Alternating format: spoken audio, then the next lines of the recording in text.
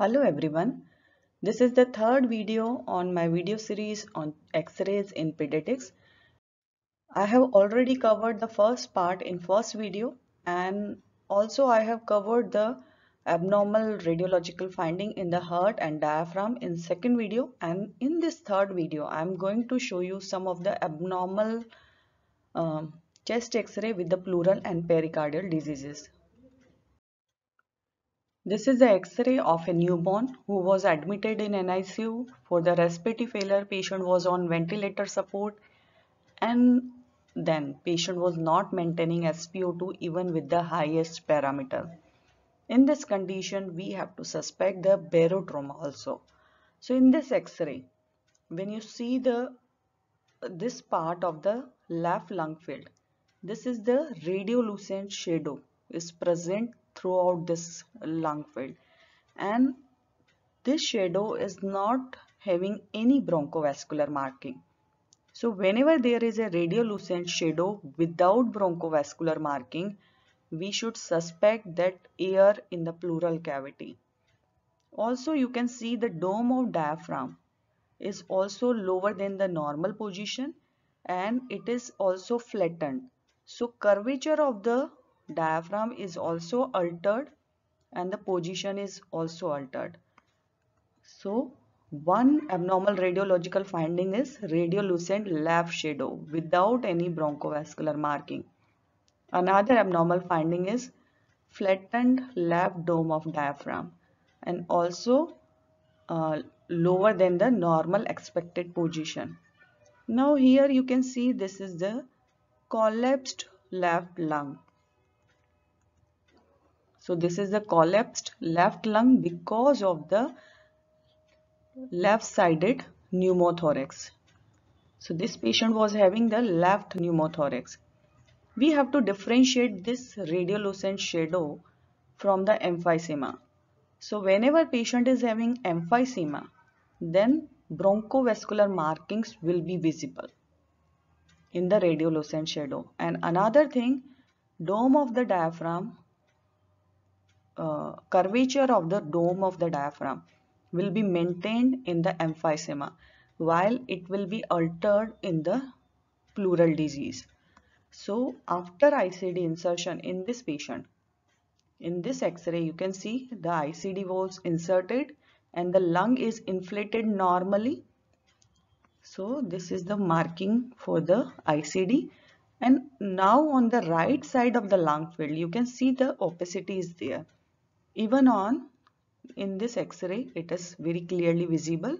So patient was also having the right middle lobe consolidation. So diagnosis for this patient is right middle lobe consolidation with left pneumothorax. This is the another x-ray of the radiolucent shadow on the right side of the lung field. So here you can see this is the radiolucent shadow without any bronchovascular marking. And also you can see this is the collapsed right lung field. So right lung is collapsed because of the right sided tension pneumothorax. And here you can see trachea is also shifted to the left side. So whenever there is a pleural disease pleural effusion or pneumothorax patient will have the shifting of the trachea toward the opposite side and whenever there is a shift of the mediastinum and heart to the opposite side, we label as a tension pneumothorax. So if patient is having radiolucent shadow without any bronchovascular marking, without mediastinum shift, we simply label as a pneumothorax. Whenever there is a mediastinum shift, as in this case, you can see mediastinum is also shifted toward the opposite side. We label as a tension pneumothorax. So the diagnosis for this X-ray is right-sided tension pneumothorax. And after ICD insertion, you can see in this X-ray after ICD insertion, lung is inflated well and here is the air in subcutaneous tissue is also present. It is iatrogenic and we label as a subcutaneous emphysema for this X-ray. So diagnosis for this X-ray ICD insertion for the pneumothorax with subcutaneous emphysema. Now I am showing you one another x-ray of the right-sided tension pneumothorax. So this is the radiolucent shadow on the right side in pleural cavity. So this is right-sided pneumothorax. This is the collapsed lung filled markings. And also you can see the mediastinum is shifted toward the left side. Here is the opacity present in the left upper zone because of the left upper zone collapse also. So these are the abnormal radiological findings. So the diagnosis for this X-ray is right-sided tension pneumothorax with left upper lobe collapse. This is a very classical X-ray of a newborn who was admitted in NICU with the respiratory failure. And in this X-ray, you can see this is the radiolucent shadow which is present in the right lung field and also the dome of diaphragm is flattened. Similarly, on the left side, this is radiolucent shadow without any bronchovascular marking.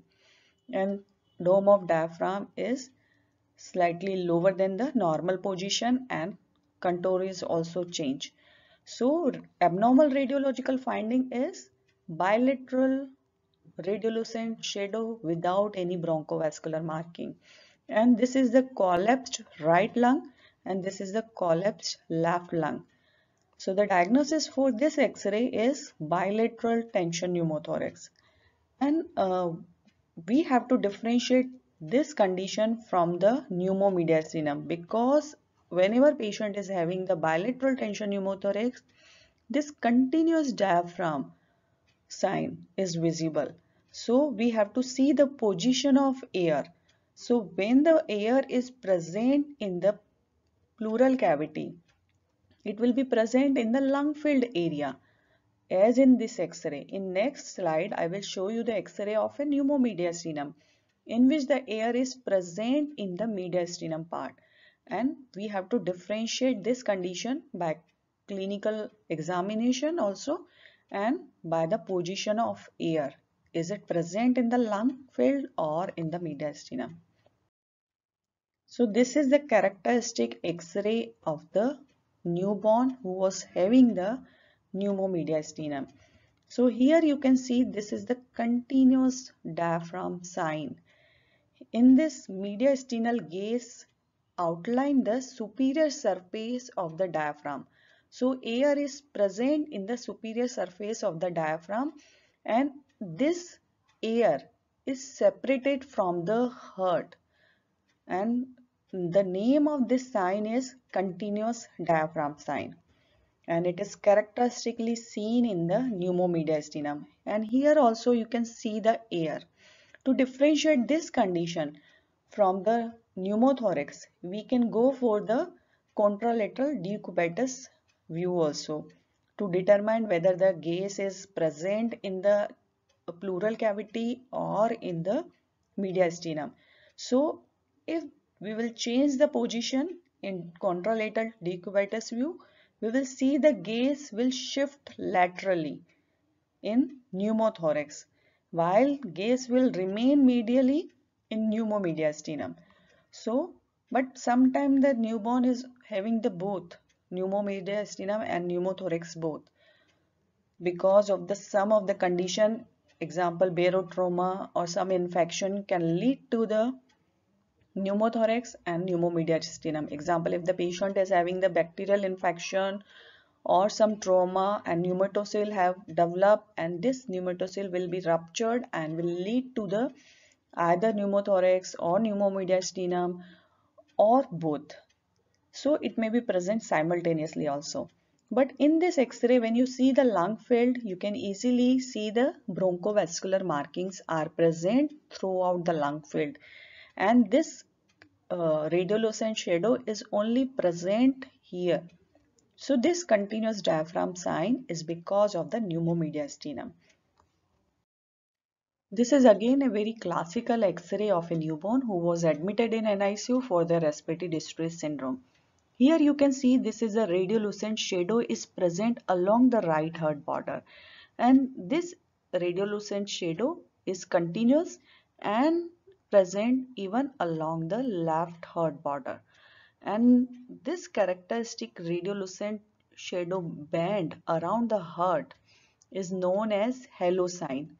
So whenever there is a broad band of the air is present around the heart in this shape, we have to suspect that patient is having pneumopericardium. While in the pneumomediastinum, either patient is having the continuous diaphragm sign as I uh, explained in the previous slide or in initial time, patient may have the multiple thin lucent streaks in the pneumomediastinum throughout the mediastinal part. There will be no continuous broadband. So this is characteristic halo sign or we can say isolated broad band of the air is present around the heart. It is characteristically seen in the pneumopericardium. This child was also having the respiratory distress syndrome so there is a bilateral air bronchogram is present. So the diagnosis for this X-ray is pneumopericardium with the respiratory distress syndrome. This is the X-ray of a child who was having the right-sided pneumothorax. So here you can see the radiolucent shadow without any bronchovascular marking. And for this pneumothorax, ICD insertion was also done. So this is the ICD which is inserted for the pneumothorax and here you can see this radiolucent shadow is very deep and this is characteristic for the pneumothorax known as a deep sulcus sign and here you can see the lucent streak which is present along the upper part of the left heart border. It is air in the mediastinum Mediastinal gaze is most commonly visible in this position only. It is just above the heart on the left side. So this is the lucent streak along the left heart border in mediastinum. So the diagnosis for this X-ray is right pneumothorax with ICD is inserted and with pneumomediastinum. This is again a very classical X-ray.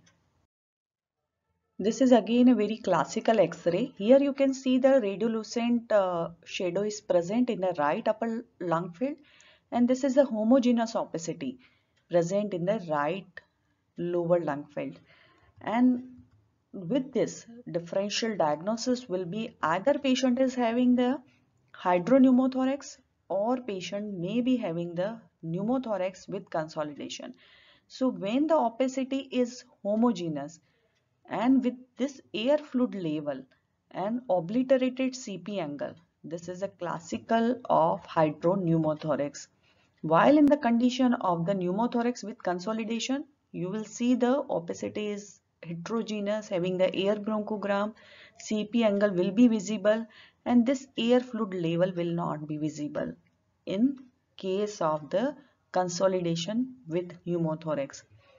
So this is classical air fluid level and the diagnosis for this X-ray is right-sided hydropneumothorax and trachea is shifted toward the left side and the mediastinum is also shifted toward the left side. So we can say right-sided tension hydropneumothorax. This is the X-ray of a child who was having the pleural effusion. For this ICD insertion was also done and iatrogenic subcutaneous emphysema has also developed. So the abnormal radiological findings are opacity in the right lung field and ICD insertion is also done and also having the air in subcutaneous tissue. So these are the abnormal radiological finding and the diagnosis for this X-ray is right-sided pleural effusion with subcutaneous emphysema with ICD. This is the X-ray of a child and clearly you can see the ICD is inserted and here the CP angle is obliterated and this is the radiolucent shadow in the left upper part and this is the homogeneous opacity in left lower part. And here you can see the air fluid level also. So patient is having left sided hydropneumothorax so this is the homogeneous opacity obliterated cp angle and even the obscuration of the left dome of the diaphragm and trachea is shifted toward the right side and the diagnosis for this x-ray will be left-sided hydropneumothorax with ICD and this heterogeneous opacity is of the collapsed left lung.